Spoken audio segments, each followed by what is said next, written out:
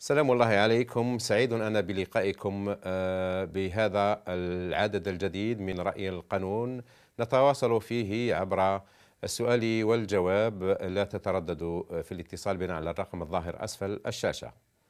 آه، أول اتصال. ألو؟ ألو. ألو مساء الخير. مساء الخير أستاذ شكرا. الحمد لله. شكون معنا؟ لاباس زرقان سالم. تفضل سي سلم آه عندي أستاذ عندي واحد الأرض نتاع العجوز نعم. مع خاوتها ما بغاوش يعطوا لها حقها؟ وش من وش من ولاية هذه ولا بين شلف. في ولاية شلف. ولا شلف. الحق يؤخذ ولا إذا لم إذا لم يعطى يؤخذ. بمعنى أنه إذا طولوا عليها ما طواش حقها وأنا عارف بأن الأمر هذا عنده عشرات السنين. آه عنده عنده تسع سنين من عيد مات الشيباني الله يرحمه تاع باباه نعم. وهم راهم ساكتين وهما ساكتين كي تروح لهم ما يبغوش ما بغاوش كاع يستعرفوا وأنا على بالك بغيت ندير بالك. بالك يولوا يولوا يولوا حتى ما يحبوش كي تجي مختم للدار. ما يحبوش. والله والله والله يا أستاذ اللي تقول حاضر. نعم أنا عارف هذه القضايا و... وأنا متأسف جدا أنه يوصل حال المجتمع إلى هذا الأمر. يعني آه، كل شيء باين. الأب توفى م- معروفة. آه، الأولاد. الأولاد اللي خلاه معروفين. آه، القسمة كل واحد شحال يدي معروفة. الأرض معروفة؟ كلش معروف. كل شيء معروف ولكن آه، الطمع كما يقولوا آه، يفرق بين الإخوة ويفرق بين آه، بين كل الاشخاص حتى ولو كانت بيناتهم عش- عشرة سنين. يعني هذا. هذا هذا واقع. الآن أمام هذا الوضع أنا دائما كي يجيو الناس يسألوني نقول له آه، روح للمحكمة. ما عندكش حل. الناس هذو ما حبوش يفهموا. والله بعبارة أخرى تسمح لي نقول لك آه، أحيانا كاين ناس ما يستحيوش على على على على الأقل رحمة المرحوم اللي توفى وخلى لهم هذا الرزق وخلى لهم إخوة وأخوات يعني يقسموها وتكفي كل إنسان. يعني إذا خلى ألف متر تكفي كل إنسان يدي حقه وخلاص ينتهي الأمر ويبقاو أحباء ويبقى اولادهم احباء الآن راح تخلق العداوة بيناتهم وتخلق العداوة بيناتهم. تنتقل العداوة ويا شا- ويا- لاولادهم ويا شا- هو ويا ما نقاطعكش في الهضره أستاذ شا قالت لهم قالت لهم تبغوا تشروا عليا شروا عليا أنا ما عنديش إلا غير لا لا ما يشروش عليها هم يحبوا يديو. وما يحبوا يدوا كما قلت ليه نعم هي حبوا يدوا كون يصيبوا كيفاش نحوا لها الورقة حامل من الدفتر العائلي نحوها عودي والله ينحوها كما قلت والله الرز ما نعم. نقول ما ما الآن أنتم. أنتم أنتم عندكم وثائق الملكية؟ كاينين هيك العقد وكاع كاين. خلاص الفريضة كاينة؟ الفريضة؟ الفريضة في الحقيقة على بالك واحد الخضرة مشينا مع أختها واحدة ماتت توفات الله يرحمها. يجيو يحلوا محلها اولادها آه، اولادها ندير- نديروا في اسم اولادها آه نعم يجي اولادها الآن اولادها وزوجها. و؟ تروحوا شوف تروحوا الموثق و؟ ديروا الفريضة. و- حتى إذا الإخوة الأخرين ما حبوش يجيو تقدروا ديرهم في الفريضة لأن الفريضة باينة. باش ما تروحوش للعدالة تطلبوا الفريضة عن طريق العدالة تضيعوا الوقت. تروحوا ديروا الفريضة وديوا عقود الملكية. وروحوا و- طلبوا تعيين خبير باش يقسم. الأمر ياخذ شوية وقت ياخذ سنوات باش الإنسان يكون صريح معكم. وهذا إيه. هو المجال العقاري ياخذ آه، سنوات. ولكن في الأخير تقدروا إذا كانت هذه الأرض مستغلة أيضا تقدروا ديروا لهم قضية نتيجة الاستغلال ال- الغير شرعي. يعني يستغلوا في الأرض هي ملك الجماعة وما يستغلوا فيها شخص أو اثنين. يستغلوا فيها وحدهم إذا كانت نقولوا أرض زراعية أو صناعية أو أي أرض أخرى. والله محلات تجارية لا يقبل اطلاقا أن يستفيد منها أحد الورثة والباقي الورثة ما يستفادوش. ولكن على الأشخاص اللي ما يستفادوش أنهم يديروا دعاوي قضائية. خلاص هذا الناس ما نقدرش نقول لك ولكن آه، الإنسان اللي ما يفهمش روحه معناتها خرج للعيب مباشرة. إيه خرج كما قلت لك بس الآن ما بقاش. ما بقاش.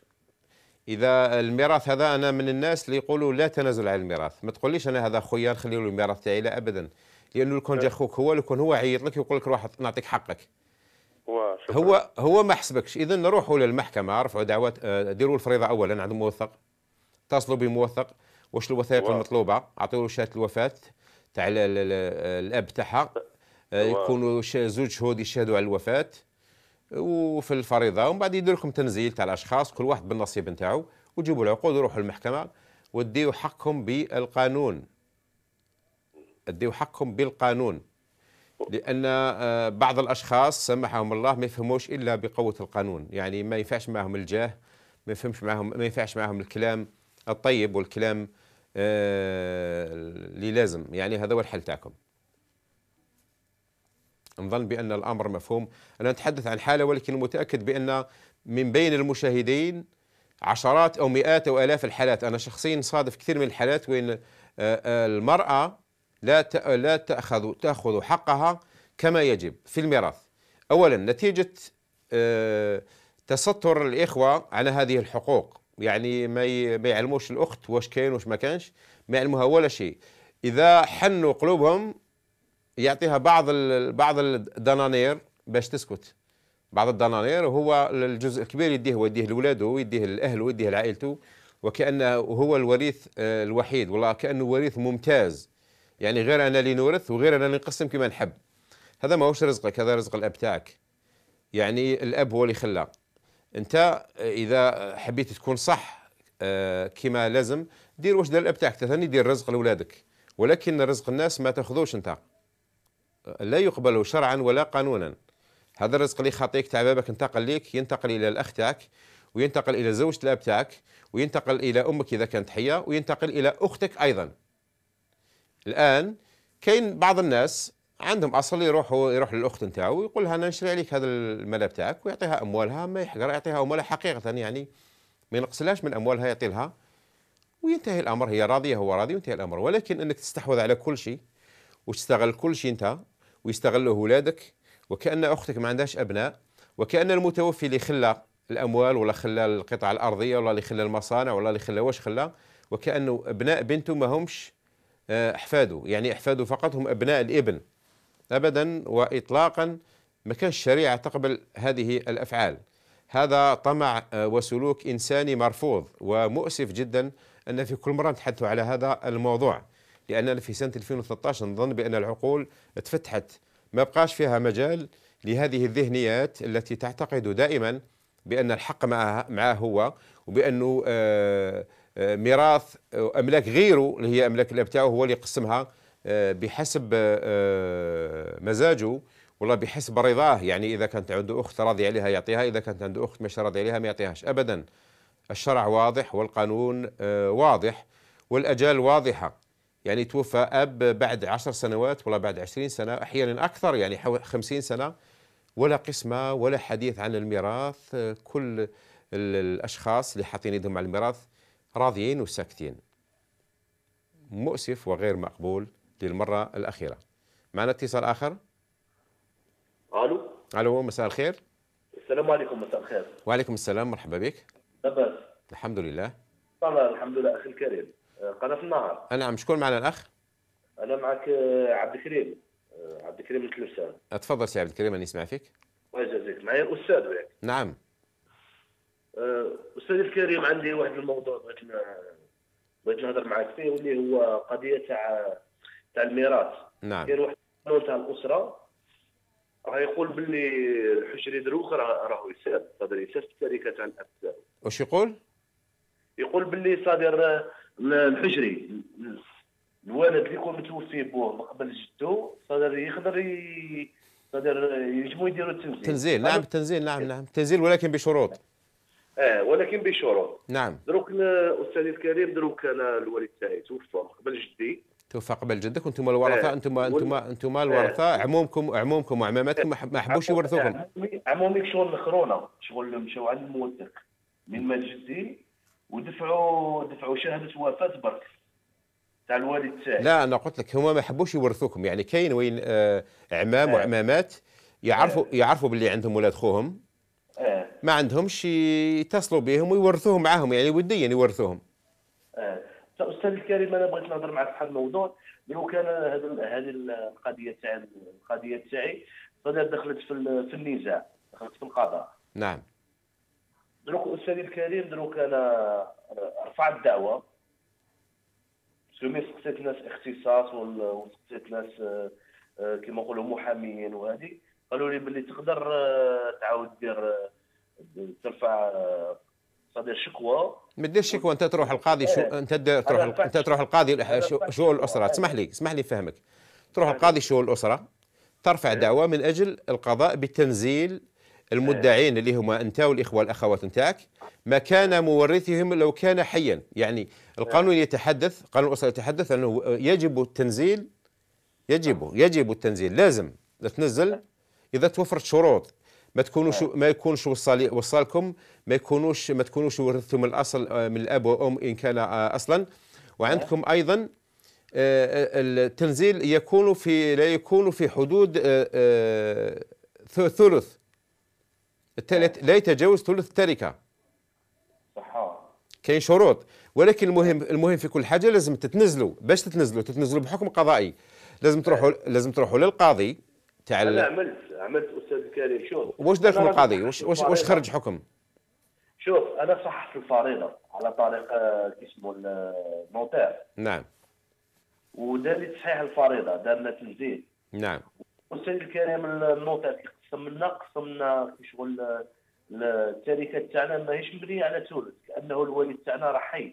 شغل يدي اون بار. شكون الوارث الوارث تاعكم حي؟ أنت لو أنت هذا جدك اللي تورثه منه جدك. آه جدي اللي توفى. الوالد الوالد تاعي اللي توفى. نعم. من قبل الجد. وجد كي توفى عاود الورثة تصرفوا داروا شهادة التركيه وتصرفوا في التركه يعني انت الاب تاعك توفى قبل جدك.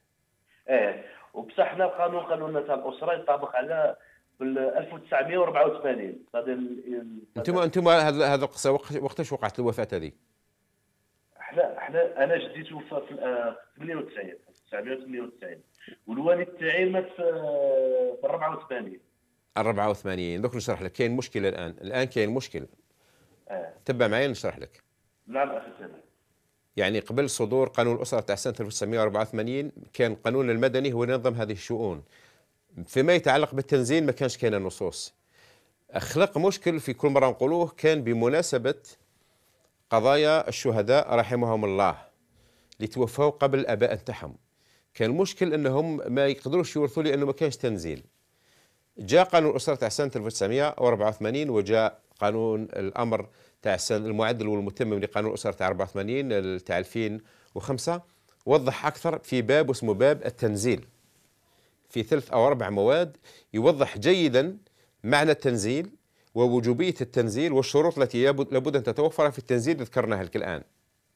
الآن آه إذا كانت القضية ترجع إلى سنة 84 ظل بأن الأمر آه، صعب بعض الشيء. إذا كانت بعد 2005 أصبحت كل الأحكام القضائية وأغلبها تمشي إلى التنزيل بشروط. وأنا شفت كثير من القضايا حتى التي رفضت على مستوى المجالس القضائية آه، تعرضت لها المحكمة العليا وعودت فرضت التنزيل على أساس أنه أصبح فلسفة مستمدة من الشريعة الإسلامية ومنصوص عليها في قانون الأسرة. بشروط قلنا. الشروط هذه أن حجم التركة مع التنزيل ما يتعداش حد معين اللي هو لا يتجاوز ثلث التركة. وعدة شروط أخرى ما يكونش ورثه ما تكونش كاينة وصية ما يكونش بعض الشروط ربما الشكلية وبعض الشروط الموضوعية الموجودة في قانون الأسرة وتحدثنا عليها في أكثر من المناسبة. المهم أنه المبدأ العام أن التنزيل موجود والتنزيل وجب آه، فرضه في الأحكام القضائية. متى توفرت الشروط المنصوص عليها في قانون الأسرة. ولا يقبل في القانون أي تفسير في الأحكام القضائية أنا شفت وين أحكام يقولوا أن أبناء البنت لا يرثون بالتنزيل. أبناء الولد يقولوا باللي أبناء البنت آه، مستثنون أبدا. أبناء البنت وأبناء الابن هم نفسهم هم ورثة. يحق التنزيل لأن الإسلام لا يفرق بين المرأة والرجل.